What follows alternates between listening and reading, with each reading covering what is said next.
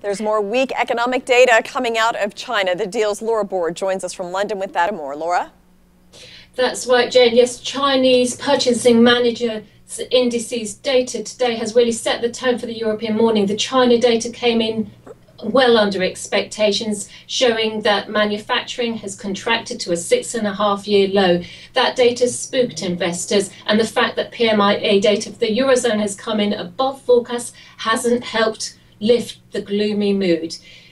In corporate news, Spire Healthcare has plunged in London, is still down about 13% after warning that results for the rest of the year will be affected by budget cutting among NHS trusts, which are cash strapped and generally struggling to plug deficits.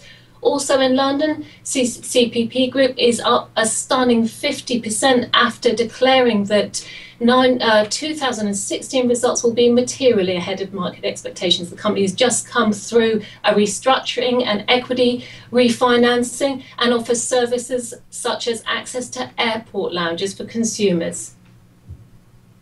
And Laura, what's going on with the RSA Zurich merger?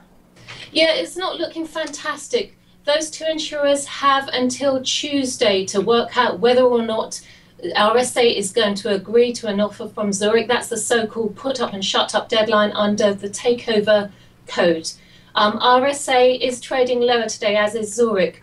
Talk is that the company is, is looking out for a price of about 600 pence per share. That compares with about 498 pence per share right now. Zurich has fallen further as investors have become worried that it may do something rash with its $3 million odd cash pile. And that was Laura Board with the deal in London.